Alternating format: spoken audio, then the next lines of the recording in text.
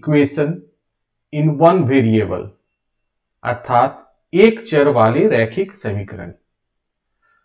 इसके प्रश्नावली आठ दशमलव दो के पार्ट वन वीडियो में हमने इस प्रश्नावली के प्रश्न संख्या एक के प्रश्नों को हल किया था। आज इसी प्रश्नावली के पार्ट टू वीडियो में हम प्रश्न संख्या दो और उसके आगे के प्रश्नों को हल करने जा रहे हैं। प्रश्न संख्या दो है, हल कीजिए। तो पहले भी हमने बताया है, हल कीजिए का अर्थ यहाँ पर है कि जो चर यानी वेरिएबल यहाँ दिया हुआ है, इसका इस समीकरण में क्या मान होगा, वो हमें प्राप्त करना है। तो इसका पहला प्रश्न ले रहा हूँ।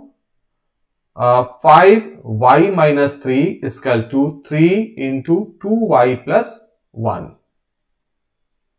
या इससे पाँच से ये मल्टीप्लाई करते हैं तो ये हो जाएगा five y minus fifteen is equal to six y plus three अब दोनों ओर, समीकरण के दोनों ओर हम पंद्रह जोड़ दे रहे हैं।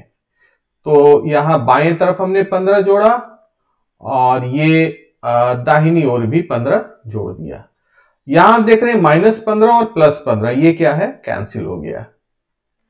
तो ये हमारा आ गया five y is equal to six y plus eighteen अब समीकरण के दोनों ओर हम सिक्स वाई माइनस कर रहे हैं। तो five y minus six y ये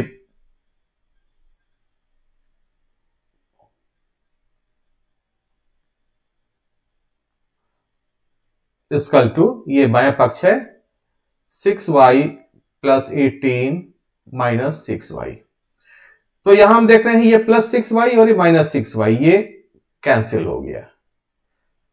तो ये हमारा आ गया minus y, five y minus six y होगा minus y is equal to eighteen.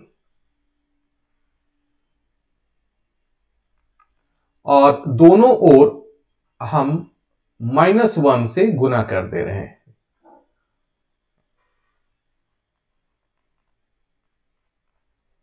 तो ये हमारा आ जाएगा y is equal to minus eighteen तो हमारा y का मान आ गया प्रश्न संख्या दो का दो। Fifteen into x minus four minus two into x minus nine plus five into x plus six is equal to zero इसे हल करना है। आ, सबसे पहले इसे हम आ, सरल करते हैं। या सिंप्लीफाई करते हैं। 15 से इसे मल्टीप्लाई करेंगे तो ये होगा fifteen x minus sixty minus two x और ये minus minus plus eighteen plus five x plus thirty is equal to zero अब चर वाले जो पद है उन्हें एक जगह लिखते हैं सुविधा के लिए। तो 15x उसके बाद ये है माइनस टू एक्स और इसके बाद है प्लस फाइव एक्स और जो अचर है उसे एक जगह रखते हैं एक साथ रखते हैं।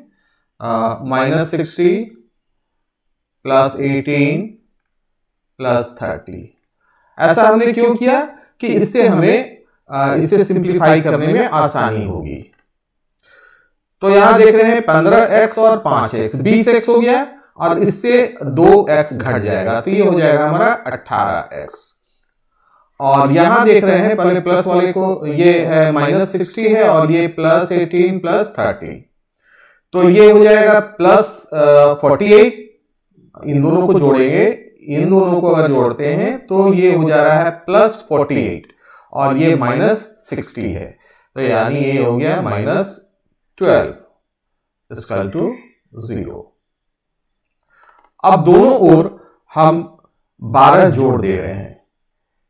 तो ये 18x माइनस बारह यानी 12 plus twelve is equal to zero plus twelve.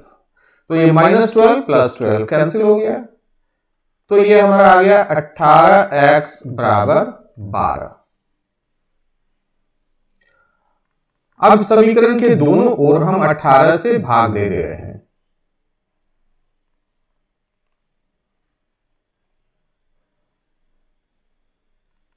तो यहाँ आ गया x बराबर, और ये हम 6 से दोनों को काटेंगे तो ये ऊपर आ जाएगा अंश में दो और ये हर में आ जाएगा तीन। तो हमारा x का मान आ गया दो बटा तीन। प्रश्न संख्या दो का तीन।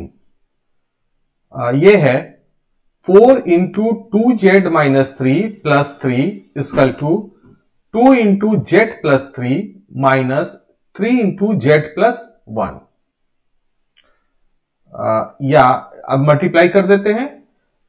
चार चार से दो को तो ये हो गया eight z minus twelve plus three is equal to two z plus six minus three z minus three ये माइनस प्लस माइनस हो गया।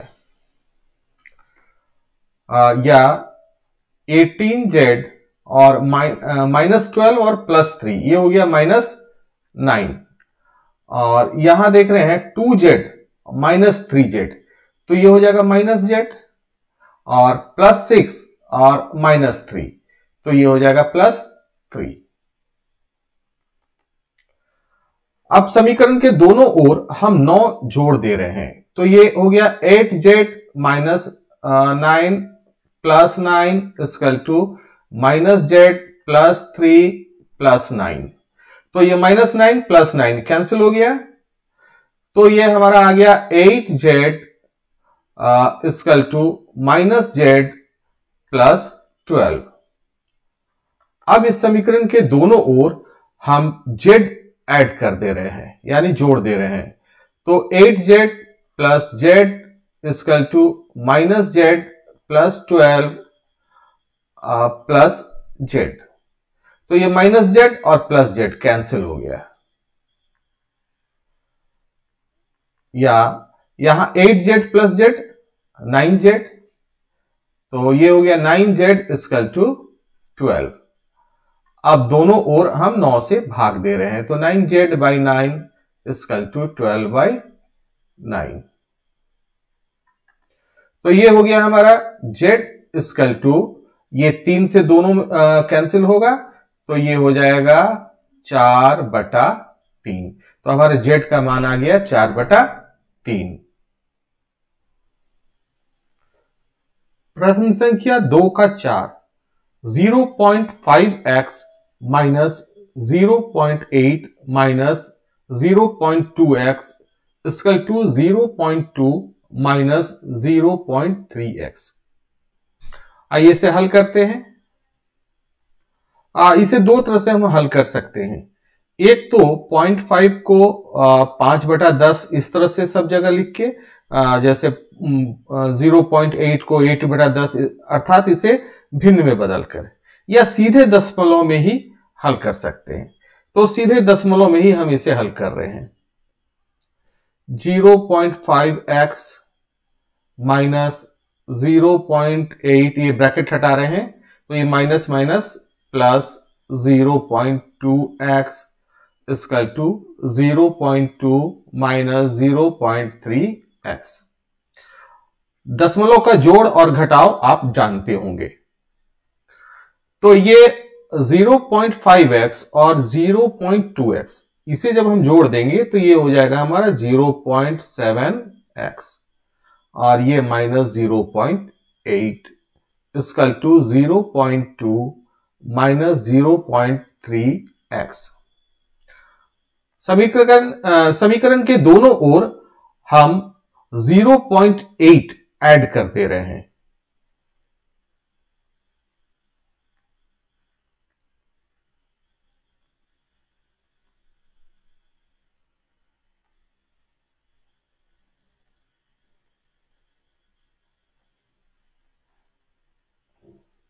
तो यहाँ आप देख रहे हैं कि माइनस ज़ीरो पॉइंट एट और प्लस ज़ीरो पॉइंट एट, ये कैंसिल हो गया।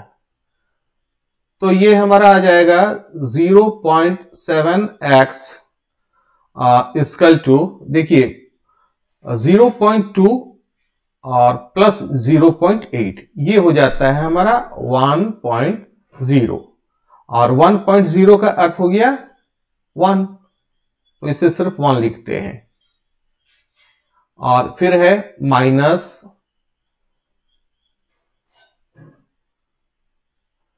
minus zero point three x अब दोनों ओर हम 0.3x ऐड कर देते हैं।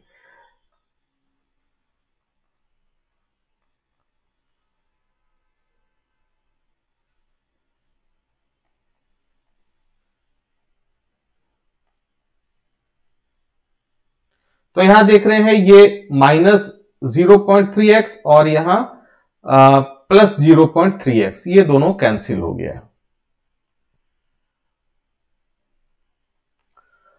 अब इसे अगर हम जोड़ते हैं 0.7x और प्लस 0.3x तो ये आ जाएगा हमारा 1.0x अर्थात वन एक्स, लेकिन हम वन एक्स नहीं लिखते हैं, सिर्फ़ एक्स लिखते हैं। तो ये हो गया हमारा x. Is equal to one. तो एक्स का मान हमारा आ गया वन। प्रश्न संख्या तीन। मंगल एक संख्या सोचता है, उसमें पाँच घटाकर परिणाम को आठ से गुना करता है। अब जो परिणाम मिलता है, वह सोची गई संख्या की तिगुनी है। वह सोची गई संख्या ज्ञात कीजिए। तो मान लिया कि मंगल द्वारा सोची गई संख्या बराबर एक्स तो प्रश्न से प्रश्न में क्या कह रहा है? उसमें पाँच घटाकर, यानी एक्स माइनस पाँच, परिणाम को आठ से गुना करता है। तो यही परिणाम है, ये परिणाम है, इसको क्या कर रहा है? आठ से गुना कर दे रहा है। अब जो परिणाम मिलता है तो यही परिणाम मिला है, ये ये हमारा परिणाम मिला है। वह सोची गई संख्या की तिगुनी है, अर्थात ये इसका टू हो गया थ्री एक्स अब इस समीकरण को हम हल करेंगे तो हमारा आ, मंगल द्वारा सोची गई संख्या मिल जाएगी। तो आइए हल करते हैं। तो ये हो गया eight x minus forty is equal to three x. अब समीकरण के दोनों ओर हम 40 ऐड कर दे रहे हैं। तो 8x x minus forty plus forty is equal to three x plus forty. तो ये minus forty plus forty cancel हो गया। तो ये आ गया eight x is equal to three x plus forty अब समीकरण के दोनों ओर हम थ्री एक्स माइनस करेंगे। Eight x minus three x is equal to three x plus forty minus three x तो यहाँ देख रहे हैं प्लस थ्री एक्स और माइनस थ्री एक्स ये कैंसिल हो गया। या ये एट एक्स से थ्री एक्स माइनस होगा तो आ जाएगा हमारा five x is equal to forty अब समीकरण के दोनों ओर हम पाँच से भाग दे रहे हैं। तो ये फाइव एक्स बाई फाइव और ये फोर्टी बाई फाइव या x is equal to eight इसलिए आ, मंगल द्वारा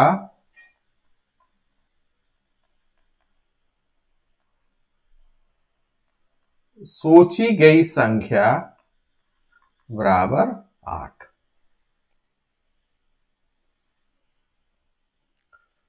प्रश्न संख्या चार, दो अंकों वाली एक संख्या का दहाई अंक इकाई अंक की तीन गुनी है। इस संख्या में इसके अंकों को बदलकर प्राप्त संख्या को जोड़ने पर 88 प्राप्त होता है। संख्या ज्ञात कीजिए। मान लिया कि इकाई अंक बराबर x तो दहाई अंक कितना होगा? ये तीन गुना है, अर्थात थ्री एक्स अब हम लोग देखते हैं, एक अंक, एक संख्या लेते हैं बत्तीस। इसको व्यापक रूप में, यानी विस्तार में हम कैसे लिख सकते हैं? दस गुना तीन जोड़ दो। तो ये दस गुना, ये तीन क्या है? दहाई का अंक है, और ये इकाई का अंक है। तो दो अंक की संख्या को विस्तार में हम इस तरह से लिखते हैं। तो ठीक इसी तरह से हम संख्या को लिख रहे हैं दस गुना थ्री एक्स, चूँकि थ्री एक्स दहाई का अंक है, जोड़ एक्स, जो इकाई का अंक है। तो ये हो जाएगा तीस एक्स प्लस एक्स बराबर इकतीस एक्स। अब जब हम अंकों को बदल कर प्राप्त संख्या लिखेंगे तो ठीक इसी तरह से हम लिखेंगे दस इंटू इकाई का अंक लिखे और जोड़ दहाई का अंक ये तेरह एक्स हो गया।